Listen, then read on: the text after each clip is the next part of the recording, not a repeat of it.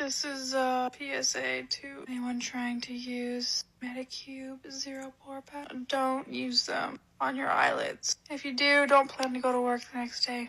This is a perfect example of how when it comes to your skin, a little knowledge goes a long way. Let's talk about how. See, sometimes with compounds or drugs, you might be able to tell what the thing does based on how the name ends. Like all things that end with pril are blood pressure medications, but that's frequently not the case. Like if you were to look at hyaluronic acid, for example, it's quite mild. It can be used in sensitive areas like around the eyes, and it can even be hydrating, acting like a sponge to draw in moisture to the area.